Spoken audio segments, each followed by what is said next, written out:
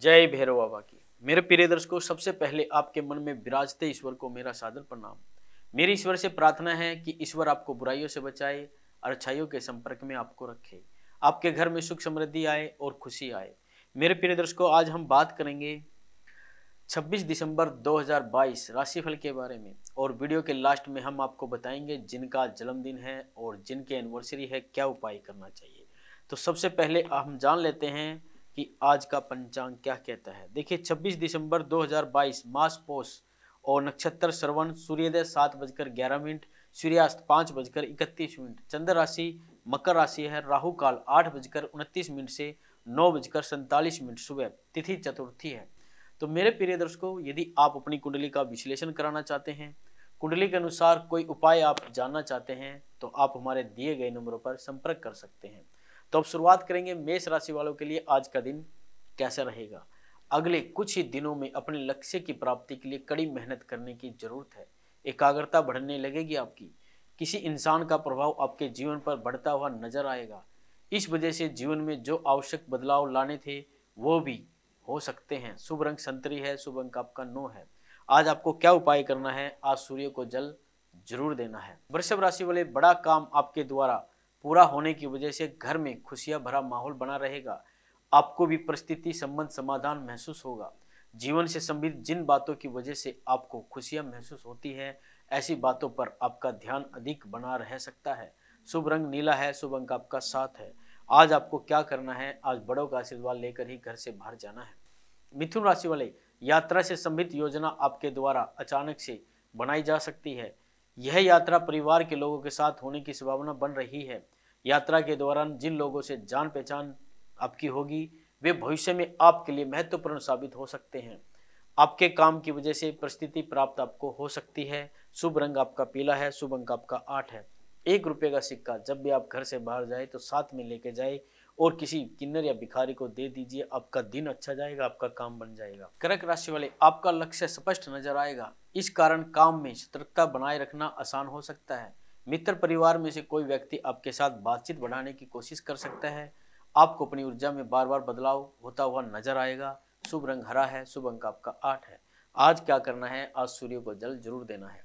सिंह राशि वाले पुराने विचारों को छोड़कर नए विचारों को अपनाने की कोशिश आप करें। लेकिन इन दोनों बातों में संतुलन बनाते समय आपको भावनात्मक उलझने से गुजरना पड़ सकता है। कुछ निर्णय लेते समय आपकी शुरुआत में दुविधा महसूस हो सकती है आपको। शुभ रंग गुलाबी है, शुभ अंक आपका चार है।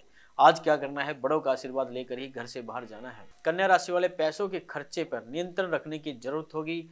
बढ़ते हुए खर्चों को जो है आर्थिक समस्या जो है उत्पन्न हो सकती है, लेकिन हिसाब किताब न रखने के कारण थोड़ी सी चिंता आपको हो सकती है।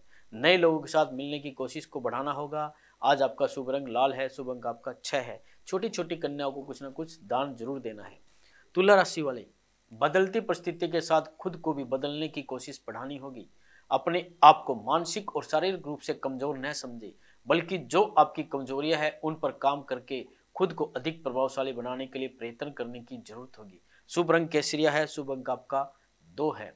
क्या करना है? बड़ों का आशीर्वाद लेकर ही घर से बाहर जाना है। वृश्चिक राशि वाले, परिस्थितियों में बदलाव लाने के लिए जो महत्वपूर्ण कदम उठाना होगा उसके लिए प्रयत्न आपके द्वारा बढ़ाए जा सकते हैं।